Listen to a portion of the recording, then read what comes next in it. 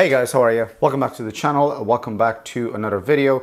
Today we're going to take a look at another Phoibos and it's not just any Phoibos, it's a ladies watch, which is a first for the channel. One thing to mention here, this is a ladies diver. So for me, all of this is new. I've never reviewed a ladies watch before, let alone a diver. So I hope I provide a relevant angle on all the strengths and the weaknesses that I think this thing has. So this is Phoibos's second attempt at a ladies watch, so to speak, because before this, there was another version which was quartz, which compared to this, this is automatic. It's an interesting approach for a ladies watch to go for a diver because in my opinion there are a lot of elements that need to be done in a certain way for this to appeal to the female audience. But we get into those things as we get along. Just a bit of a disclaimer, this watch was sent in to me by Phoibos for free for the purpose of the review and I don't need to send it back. Other than that, they didn't have any input in the content of this review, so bear that in mind as the video goes along. Also, Please do not forget to subscribe to my channel if you don't want to miss any future videos or any future reviews. Now let's get into it.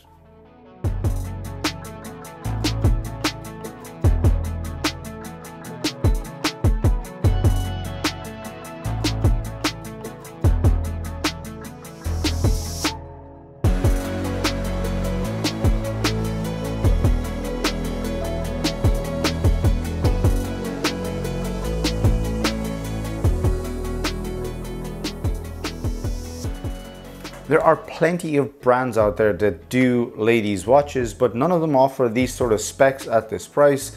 And from my research, I couldn't find any micro brands that do this, especially ladies divers. So if you know of any, be sure to let me know in the comment section down below. I've seen reviews about this on other people's channels and they claim it's a unisex watch. I mean, if you look at the design, I really don't think this is a unisex watch, but if you look at the size and the thickness, you might have a case there. Let's go through some dimensions and see what I'm talking about.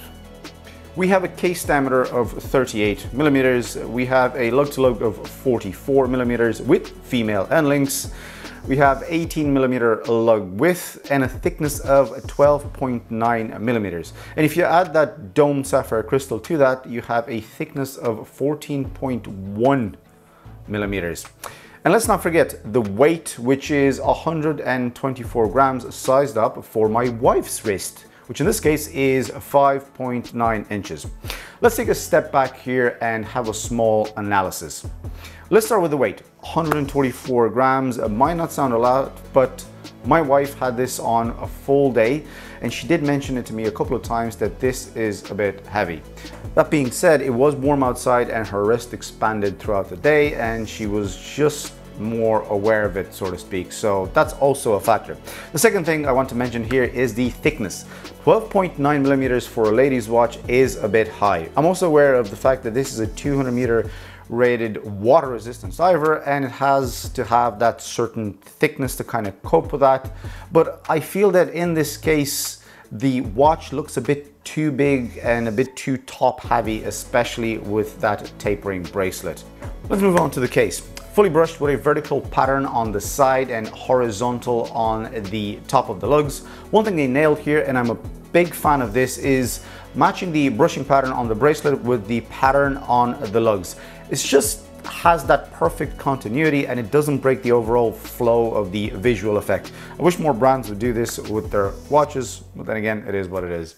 Crown guards at the three house the signed screw down crown, which is polished versus the rest of the watch. That's a small detail that adds to the whole visual effect and makes the crown stand out in a very subtle and pleasant to look at way. Also, a quick reminder that between the screw down crown and the screw down case back, we have a stated water resistance of 200 meters.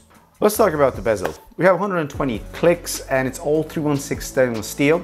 No backplate, very easy to turn with a lume dot at the 12. The numbers have all this polished finish which makes them stand out over the brushed background, so to speak, which again, it's a small detail that adds to the whole visual effect that I was mentioning before. The grip on the bezel has this saw-like pattern which allows you to get proper grip anytime and also use your nails to turn it so it points to that for the right direction. Overall, the case is done very, very well and those small little details when put together really make a big difference so there is nothing in your face, but just enough there to notice. Let's move on. The dial is covered by a slightly domed piece of sapphire crystal with three layers of anti-reflective coating underneath. And I do have to admit, I'm not sure if it's the crystal or everything else on the dial, but everything really comes to life when the light hits it. The variant that we have here is called Tahitian Black and apart from this one, all the other dial variants are a bit more vibrant and a bit more colorful. Not that this one isn't, it just isn't as much. They're all mother of pearl, so expect the same sort of shift in colors and the same kind of light play when this is out in the sun. Diamond Like applied indices with a date window at the 6 and this has a date frame with the same finish as the indices to give it the same kind of pop in the daylight. One thing that I really like is the minimum writing on the dial. Apart from the automatic in red and 200 meters under it at the 6, there is nothing else that's there just for the sake of being there. Just not enough dial surface to fill it up with nonsense. The sort of style hands really fit in the whole design and complement the finishing on all the other shapes nicely. The dial is actually really well made and it has this delicate vibe around it. And to be honest, I wouldn't have any sort of negative comments here just because there aren't any. Great execution and a very tastefully done design that doesn't look over the top. The Lume. Something that Phoibos does very well is the lume. and I don't think I've ever seen or heard anybody that complain about the lume on any of their models. BGW9 on the hands and indices and it does shine pretty bright. It's nothing that's gonna break any records, but you can tell that this is well done and you'll never feel like you'll need any more. My wife certainly certainly didn't complain about that. She never said, oh, there's not enough lume. I'll normally move on to the movement, but I want to take a moment and talk about the case back here. Engraved on the back, we have this lady diver, re-emphasizing the fact that this watch is for a lady and in case you forget that's also mentioned on the spec sheet on the back. Don't really have any comments here but what I want to say is that the case back itself stands a little taller than I would have wanted and it adds to the overall mentioned thickness. Powering this, we have the super popular Seiko NH35. As usual, I'll put the spec list on the screen. A very welcome addition at the price and it usually sits in the same range for all the other micro brands. Phoibos use this quite often in their models and in this category and you don't need me to tell you how good the NH35 is. This one is running at a minus 7 seconds per day which is within the stated tolerances. It's not the best but again you get what you pay for. In true channel fashion, the last thing that we're going to cover here is the bracelet. Phoibos are usually very good when it comes to bracelets. This one has 18 millimeter lugs with quick release spring bars and keep this in mind. We'll talk about it later. Three-link oyster style, polished everywhere with screw pins to adjust and this was just a, a dream to size. We also have female end links that conform to the wrist quite nicely, as it should. We have a butterfly clasp with double pushes to release with three holes of micro adjust. We also have a mill clasp with the octopus logo engraved. Now, as much as I really think that the that logo shouldn't be on the clasp, this is a pretty cool logo, so I'll just go over that. It's a very nice, comfortable bracelet, and you would think that the addition of the quick release spring bars would elevate the experience and would make this a bit more flexible when it comes to swapping straps.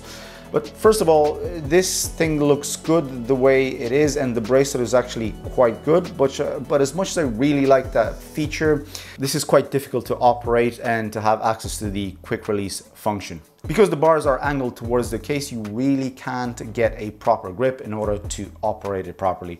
Maybe my nails aren't long enough or I just don't know how to do that properly.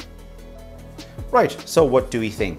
I really appreciate the fact that Phoibos decided to open the market to our lady watch nerds out there, and I think that more micro brands should follow this path. People really like options, and I would really like to see what their take is on the concept. So kudos to Phoibos for doing that. In regards to the watch itself, almost 13 millimeter thickness is on the thicker side for any watch, not just for a 38 millimeter case diameter. So I think that could be revisited in a future model. I can't really argue with design pattern as I think they stayed true to the Phoibos design language and they apply that to what it seems to be a very good looking diver. Now, that was it for me guys. If you made it this far, thank you very, very much for watching the video. Let me know in the comment section down below what you think about the watch and what you think about Phoibos as a brand. brand. I really want to hear it. Subscribe to the channel if you don't want to miss any future content. Thank you very, very much again for watching and I will see you guys in the next video. Bye.